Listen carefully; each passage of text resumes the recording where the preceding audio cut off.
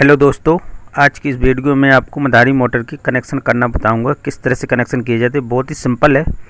बहुत ही सरल तरीके से बताऊँगा। आपको एक बार में ही समझ में आ जाएगा किस तरह से इसकी कनेक्शन होते हैं। आप ये देख रहे हैं, ये मदानी मोटर है। मदानी मशीन की मोटर है। इसमें से टोटल तीन वायर निकले हुए हैं, जिसमें दो ब्लैक के हैं और एक रेड का है। जो ये रेड का है, ये सीरीज़ का है। इसमें एक स्टार्टिंग का और एक रनिंग का। दोनों का वायर जोड़ के इसको कॉमन बनाया है। और जो दो ये ब्लैक के हैं, ये दोनों, एक स्टार्टिंग का है, एक रनिंग का है। आप ये देख रहे हैं, इसमें दो स्विच लगे हुए हैं। ये पूरी केबल है, ये मेन पावर की केबल है ये। तो आपको मैं बताऊँ कि किस तरह से इसके कनेक्शन किए जाते हैं। जो पहला वायर है, वो ऑन ऑफ़ वाले स्विच के किसी भी एक पॉइंट में लगा दें। जैसे हम इसको एक पॉइंट में लगा देते हैं। ये ऑन ऑफ़ वाला है और दूसरी तरफ़ का है जो स्विच वो राउंड बदलने वाला है। आप जिस तरफ़ चाहे उस तरफ़ उसको घुमा सकते हैं। तो हमने एक पॉइंट पे पावर का एक वायर कनेक्ट कर दिया है और जो दूसरा है वो इस थ्री पिन के जो ये स्विच है, इसके सेंटर में देना है, दूसरा वायर, ये पावर वाला है। मेन जो पावर आता है, एक फ़ेज़ का आता है, एक दूसरा न्यूट्रल आता है, अर्थ का।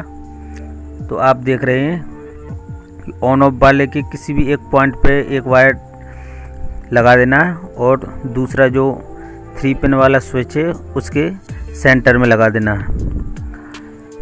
अब हमने ये दोनों पावर वाले दोनों वायर कनेक्ट कर दिए हैं। एक ऑन ऑफ़ वाले स्विच में कर दिया और एक ये राउंड बदलने वाला स्विच में कनेक्ट कर दिया है। अब आपको मोटर से जो तीन वायर निकले हुए हैं, इनमें सबसे पहले कैपेसिटर को कनेक्ट करना है। ये तीन पॉइंट पंद्रह का कैपेसिटर है। ये जो ब्लैक के दो वायर है, एक रनिंग का है, एक स्टार्टिंग का है। तो दोनों में हम कनेक्ट कर देते हैं। दोनों को कनेक्ट कर, कर दिया है हमने अब इस कैपेसिटर में। इसके बाद में जो ये रेड वाला वायर है जो जिसको हमने कॉमन बनाया है इसको आप ध्यान से देखें कहाँ पे इसको कनेक्ट करना है। ये गड़बड़ नहीं होना चाहिए। जो हमारा ऑन ऑफ़ वाला है स्विच ये आप देख रहे हैं। इसके दूसरे पॉइंट पर ये कॉमन वाला वायर ज्वाइंट कर देना है। आप देख रहे हैं ये रेड वाला वायर जो ऑन ऑफ़ वाला स्विच है, उसके दूसरे पिन पे हमने कनेक्ट कर दिया है। बाकी की जो ये कैपेसिटर वाले दो वायर है, ये हम थ्री पिन वाले स्विच के दोनों तरफ़ एक एक ज्वाइंट कर देंगे। ये हमने एक साइड में ज्वाइंट कर दिया कैपेसिटर वाला। ये अब दूसरी तरफ़ ज्वाइंट कर देते हैं इसको।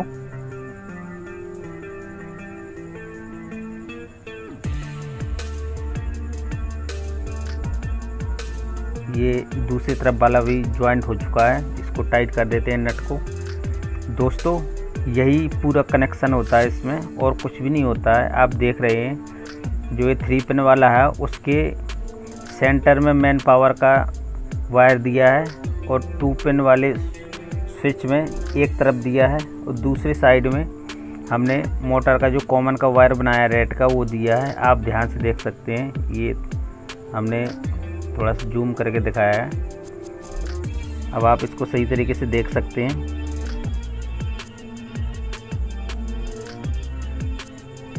ये हमारा कनेक्शन पूरा हो गया। अब इस मोटर को सेट कर देते हैं, इस बॉक्स को पूरा लगा देते हैं इसको। इसके बाद में आपको चला के दिखाते हैं ये किस तरह से वर्क करता है।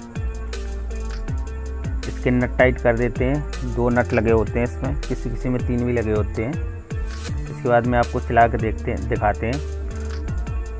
दोस्तों, इसके बाद जो नेक्स्ट वीडियो आएगा, वो पूरी मधाने की पूरी वाइंडिंग का वीडियो आएगा।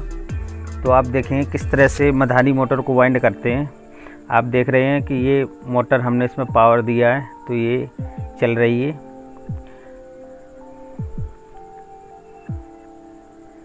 बहुत ही सिंपल कनेक्शन होते हैं इसके।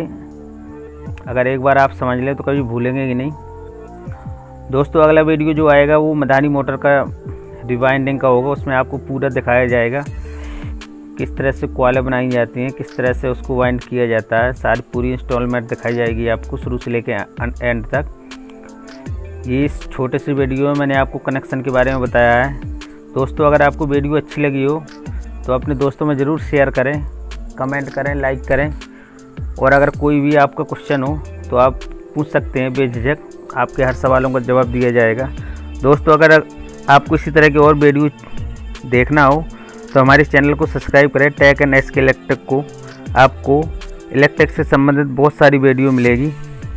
वीडियो को आखिरी तक देखने के लिए आपका बहुत बहुत धन्यवाद।